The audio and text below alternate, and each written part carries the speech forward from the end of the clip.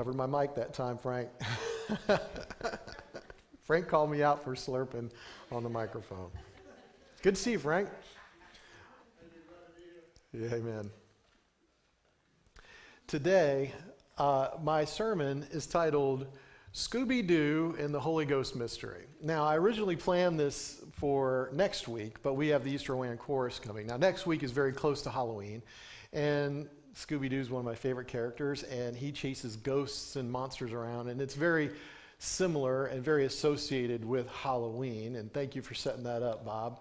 And uh, so I'm going to talk about that. Now, I just need to check the room real quick. We all know who Scooby Doo is, right? All right, let's see how much we know. Who here can do an impersonation of Scooby Doo? I heard. Row, Raggy. He, he, could talk, but not, not well, which is pretty amazing. All right, let's see what else you know. At the end of every episode, what does the criminal who gets caught say? You would have got away, I would have got away with it if it wasn't for you meddling kids. Okay, all right, so, so we're getting there. Now, uh, the character Shaggy, we know who Shaggy is. What is his catchphrase or catchword? No, that's Shaggy. Or no, that's Scooby. Zoinks. That's right. He says zoinks. Side note Casey Kasem from America's Top 40, he was the guy who did Shaggy. All right, back to the sermon. Um, what's her name? Uh, Thelma. Not the, Velma. Velma is the smart one, right? The one with the glasses. She had a word that she said all the time when she was surprised. What did she say? Jinkies. Okay. All right. So some of us got it a little bit better than others. We know who Scooby Doo is. Scooby Doo has been around since 1969. Next year, Scooby Doo will turn 50, which is not old, right, Chris? That's not old, right? Brad, that's not old at all. No? Okay. Yeah. 50, 50 is the new 50. 20. you know, it's fine. It's fine. We're seasoned. We're seasoned. Okay. All right. So we know who Scooby Doo is, and we know that Scooby Doo quite often is associated with Halloween. Uh, they chase ghosts, they chase uh, monsters, and they reveal them for who they really are. Now, the Scooby Doo gang, they'll go into a town and they will. They'll, they'll go in there uh, to a town that is supposedly haunted by a ghost or sometimes terrorized by a monster. And by the end of every episode, they search and they, they look into things and they discover that this ghost was really a projector and some pulleys, and this monster was just a human being behind a mask. And then the proper authorities get involved and everybody lives in peace. Now, the Scooby Doo gang, would we consider them superheroes? No, they're not really super. I mean, Scooby Doo is a Great Dane that could talk. That's, that's, that's not superhuman, but that is super canine, you know. Um, but, uh, but still, they don't really have super strength. They can't fly. They don't have telekinetic powers. They can't shoot lasers from their eyes. But still, they go where others are afraid to go. And they rescue people from their fears. And they fight crime. So I think maybe they should be considered superheroes of sorts. The Scooby Doo gang, they do have a superpower, and their superpower is a dogged perseverance. Their perseverance, it carries them through and past their fears. Where other people are afraid to go into that old haunted mansion, they'll go right in there. When other people are afraid to go into that spooky old warehouse, they go right in. Their perseverance pushed them beyond the boundaries of fear that crippled the townsfolk who were haunted by ghosts and terrorized by monsters. You see, the Scooby Doo gang is only armed with flashlights. And with, and with those flashlights comes a brave curiosity. And that curiosity is bolstered by the assurance that the truth will be revealed. People tell them there's a ghost in this town, they don't buy it. They want to see the truth. You see, ghosts, they tend to thrive in the darkness, right? And see, the light that uh, reveals the monsters and ghosts in Scooby Doo. It's real physical light. And would be criminals and wrongdoers are revealed to just be human after all and not so scary. And then they're escorted away by the proper authorities. to draw out the impact of the Scooby Doo gang, what does it look like for a town that is haunted by ghosts or held in fear of monsters if the mystery machine never rolls into their town? What if they never show up? It seems to me that if they never show up, that that town will remain gripped with fear and evil intentions will get their way. Ah, but they do show up. They do show up and they bring light and bravery and perseverance, chasing away the ghosts and monsters that are in that community by revealing the truth the truth that these evil things have no real power. The same is true for us when we bring our fears to the light. They're revealed for what they really are. And likewise, the truth of our fears is often revealed by perseverance. Today's scripture, it calls us to be the light, to walk in the light, and to shine the light. We who claim the name Christian are armed with the light of Jesus and equipped with the blessed assurance of his resurrection. So, what does it look like for us to be the light in the darkness of this world? What does that look like? Now, are we to get on soapboxes and grab bullhorns and start accusing everyone who passes by of their sins? Nope. That's not what the scripture said today. The scripture, it says to not even mention the evil deeds done, by, done in the darkness. Instead, it tells us to be children of the light, knowing that our light will make all things visible. The way we live our lives, being light, being people of integrity, people who follow Jesus' words. My friend Reverend Ben DeVoid, he said, I'm not convinced that Jesus is interested in whether or not I'm appalled. He says, I don't, I don't think Jesus cares whether I'm appalled or not. He desires that I act with kindness. And I get that. John, Wish, John Wesley, he preached, Do all you can, by all the means you can, in all the ways you can, in all the places you can, at all the times you can, to all the people you can, as long as ever you can.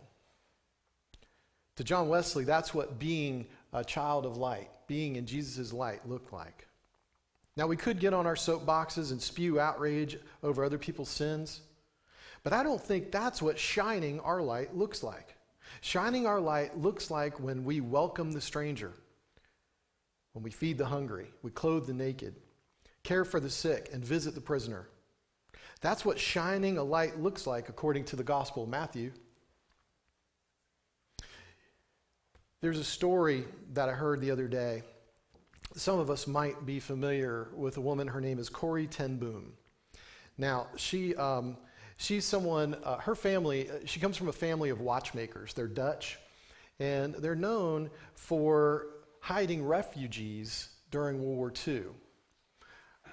Jewish ref- ref- Jewish refugees came and hid in their house from the Nazis. And they're known for being brave and strong in the face of that terrible danger.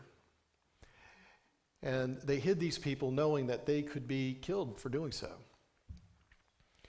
They were people of light, people of integrity. And Corrie ten Boom tells this story about her father, a watchmaker. Her father is a watchmaker, and they, they made fine watches, and, and they made handcrafted watches. Every piece was machined by hand. It takes them a long time to build just one of them. Now, during World War II, times were very lean for a lot of folks. To sell just one watch would have covered them for months. And they had a person come into their store one day, and things were looking pretty bleak. They didn't have a lot, they were, they were running out of everything.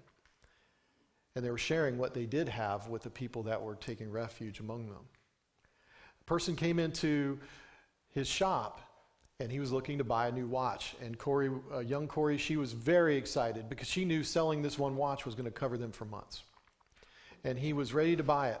And then he explained, Yeah, I need to get a new watch because this other one just stopped working. It was a gift, but you know, I need to know what time it is. I hate to, I hate to let it go or replace it, but her father looked at his watch, and he knew he could fix that watch very easily for about five bucks.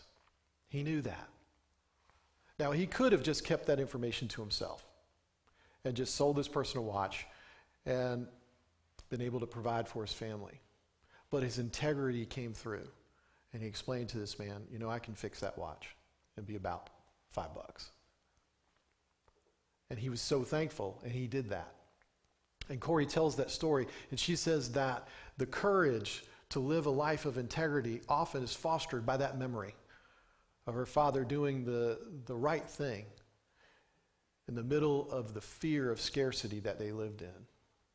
We're always called to do the right thing, even when we're afraid. A person very close to me, he, uh, he backed his truck up into a pipe that was sticking up out of the ground. It was hard to see. It used to be a basketball goal and just kind of bent over and just a pipe sticking up out of the ground. So he backed his truck up into it and he wrecked his bumper pretty bad. I was like, oh man, that's, that's awful. Awful. Not awesome, it's awful. I just created a new word, awful. It's somewhere between awesome and awful. Anyways, I said, that's awful. He said, no, I'm just gonna, I'm just gonna call my insurance company and just tell them, you know, somebody ran into me at the parking lot. yeah. And I was like, we can't do that. He's like, why not? They, they don't even come out anymore. I'll just call them on the phone. They'll cover it. I said, you can't do that. And, uh, and he's like, why not? They're not going to catch me. I was like, that's not the point. It's lying. It's lying. And, you know, it didn't make sense to him. And I, will have to tell you that this person's still very close to me. And this person struggles with his finances and um, makes a lot of decisions based on whether or not he gets caught. Here's, here's the truth, folks you're always caught. There's no hiding from God. There's no hiding from God's Spirit. You see, it would make sense for a lot of folks to go ahead and call the insurance company and lie to them and get the bumper paid for. For a lot of folks in this world, that would make sense. But we're called to be different. We are Christians. We're called to be different, and what makes sense in this world is not what drives us. We are motivated by God's Holy Spirit to live in ways that are consistent with God's kingdom and not what this world would tell us to do. Dr. Seuss quoted, he said, Why fit in when you were born to stand out? Why fit in when you were born to stand out? We are Christians. We were born to stand out. We were born to shine light in the darkness, freeing the world from fear. Often our light doesn't shine that brightly because of our guilt and our shame and our pain, but we shine it anyways. Now, sometimes the ghosts that haunt us are in our own past. Sometimes being a hero means conquering the villains inside ourselves. Sometimes we need to shine the light on the ghosts in our past. We need to remove their masks and reveal that they have no real power over us. For me, and I'll tell you this, this story, it's very personal. For me, for years, I was haunted by some hurtful things that my ex father in law said to me. I love this man. I still love this man. He, um, he was very much a father to me, and I respected him. He retired a full bird colonel. He was a pastor as well, and, and, and I thought the world of him. And I looked up to him. But when his daughter and I split up, he said some really hateful things to me. His words haunted me for years. But as time passed, I shone the light on those words, on those memories. I shined the light of truth and wisdom on those painful memories, and I realized that he was just a hurt person lashing out on me out of a sense of loss and confusion.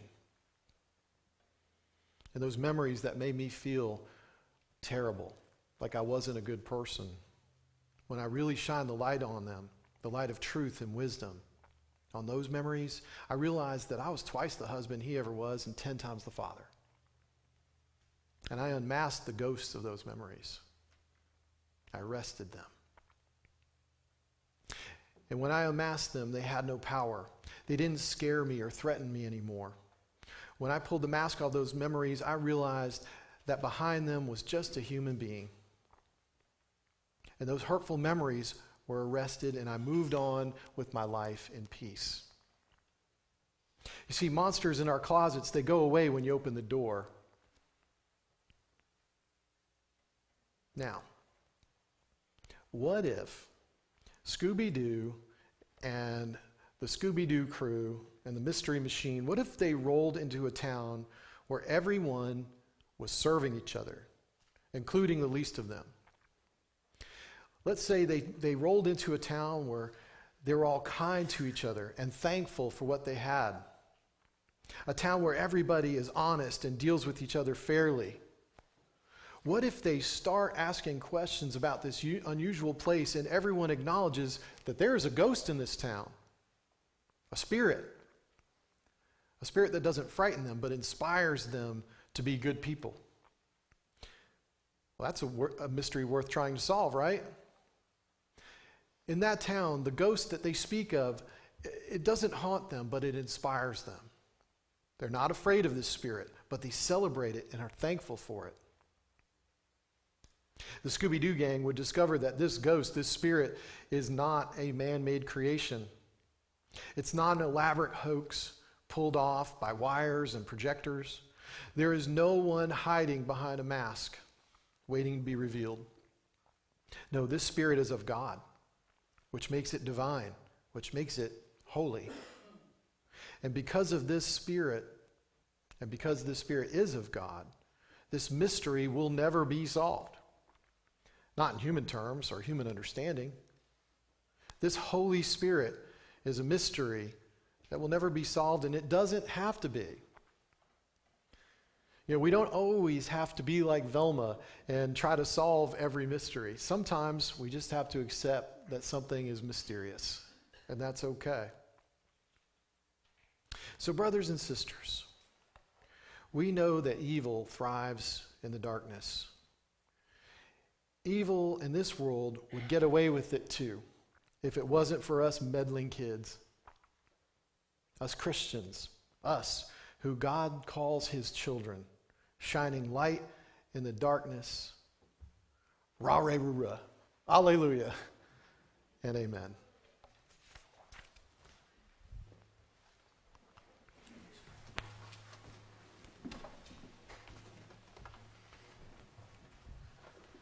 And now let's sing our closing hymn.